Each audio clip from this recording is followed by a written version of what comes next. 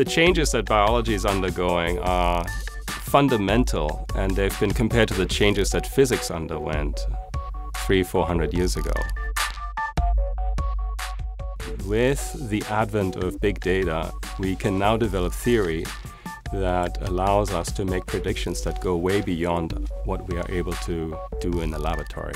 And of course, that's what we need, because we need to make predictions not what happens with our cells in the lab. We need to make predictions what happens with patients. There is a great need to develop uh, new talent that is able to analyze these data sets.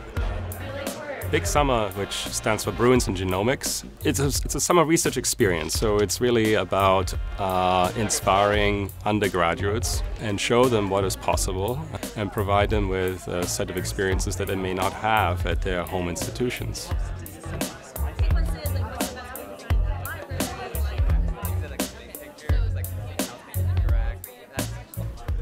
Fundamentally, you, you have to have skills in uh, knowing programming languages. These skills are the first step.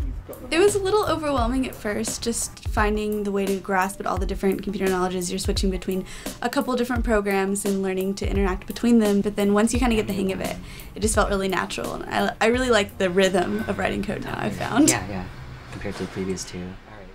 When I found out there's something called bioinformatics which combines biology and computer science into something very useful, I decided that was what I was going to do.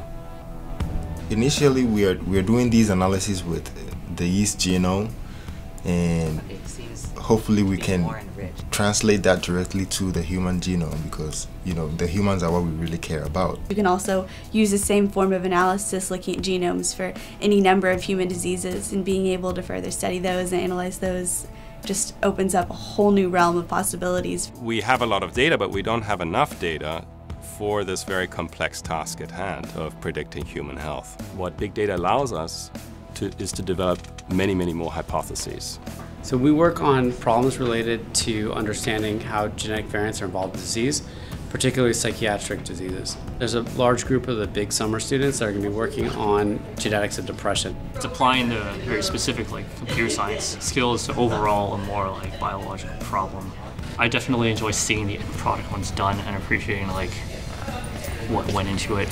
12,000 whole genomes, and they'll try to look through terabytes and terabytes of data. You probably get it done, right? It is remarkable that without any theory, without any prior knowledge, the data that you have available allows you to make pretty good predictions about what people are interested in doing next and whether certain advertisements are a good bet for them. The amount of data we need in order to develop predictive models of human health, I think are probably way bigger than what you need in order to determine whether you are a good candidate for shopping for a vacuum cleaner. Human health is so complex, there's so many different aspects that you have to consider. The genome sequence is just the beginning. Whether it's nutrition, environmental exposures, and the accumulated history of all of this. Uh, this change in biology is not abstract, it's very real and it affects all aspects of this biological science uh, enterprise at the you know, level of funding and the people who are doing the work. Basically, when we download a data set of RNA-seq data, we just like finally got the first part down five minutes ago, so that was pretty exciting. I think we we like heads almost blew up. Since we have been collaborating a lot, because you'll continuously get these error messages, but at the end of the day, they're really a help, and it shows you, you know, where you need to do differently and what you need to do correctly. I've definitely considered getting my PhD in bioinformatics because I've seen how much work there is to be done. The field that we're kind of working in right now is you know, understudied in a sense. And I wouldn't say that that's a bad thing because it's so new. One of the things that the students really remind us of is that it's really important to have people doing science with very different backgrounds and they bring different ideas and different skill sets around how to think about science and how to think about a particular problem.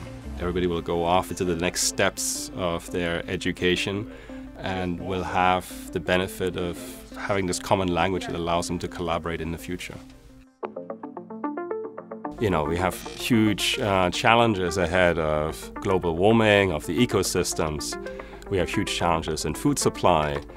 And health is certainly one that is on everybody's mind, but there are other very big challenges that we face as a humanity and that we look for biology to solve.